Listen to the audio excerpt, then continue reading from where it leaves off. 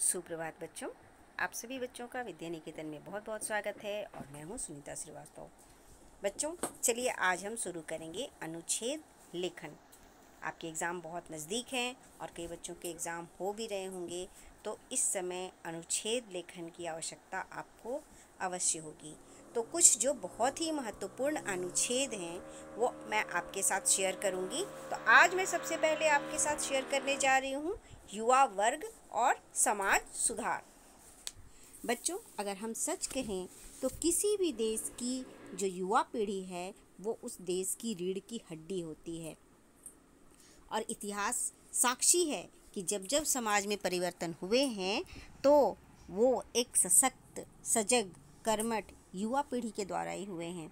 फिर वो चाहे सामाजिक कुरीतियों के लिए हुआ हो, या स्वतंत्रता प्राप्ति के लिए हुआ हो, या देश की सुरक्षा भी हमारे युवा वर्ग पर ही होता है।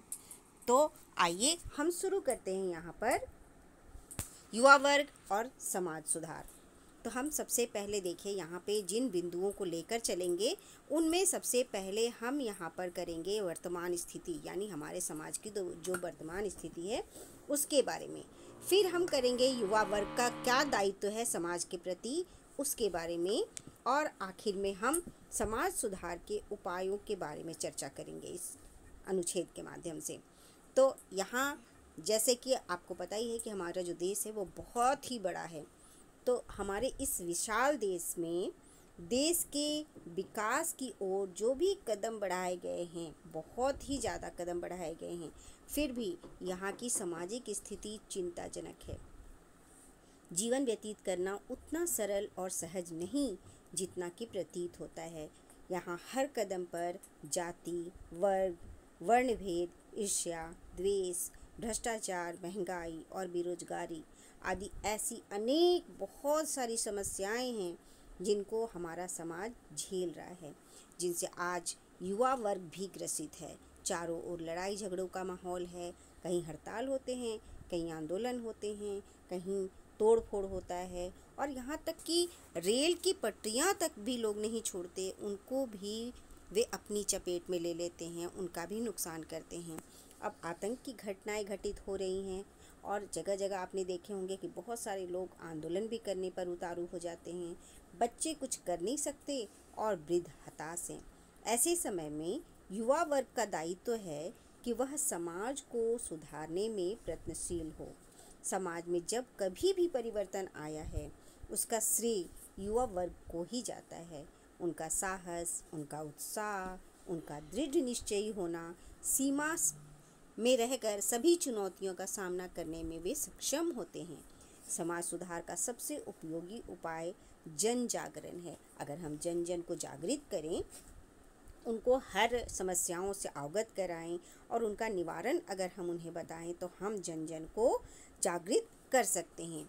उसके लिए आप अपने आप को समर्पित करने की आवश्यकता होगी। सभी क्षेत्रों में शिक्षित और योग्य बनकर ऐसे आदर्श प्रस्तुत करने होंगे जो दूसरों को दिशा निर्देश दे सके। और उन्हें अपने विकास की मुख्य धारा में हम शिक्षित करके जोड़ सकते हैं।